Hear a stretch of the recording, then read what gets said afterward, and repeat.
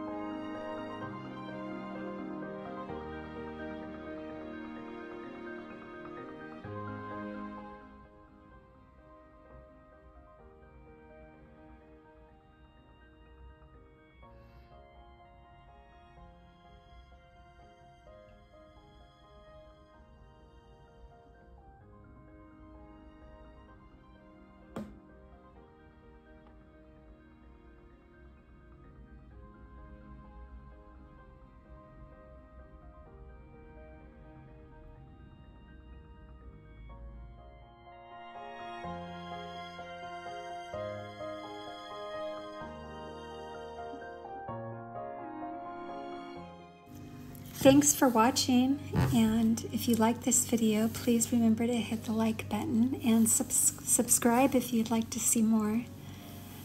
Have a great weekend.